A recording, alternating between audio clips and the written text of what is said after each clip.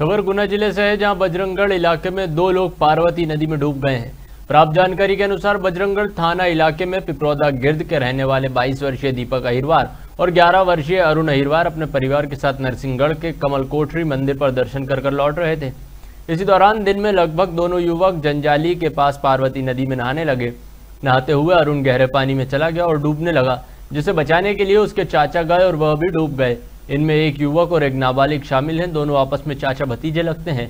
वहीं दोनों युवकों को डूबने की सूचना मिलते ही एसडीएम विकास कुमार आनंद, तहसीलदार रेणु कंसालीवाल सहित एसडीआरएफ की टीम मौके पर पहुँची और दोनों युवकों की तलाश की। वहीं शाम पाँच बजे तक एक युवक का शव मिल गया है, जबकि दूसरे की तलाश जारी है।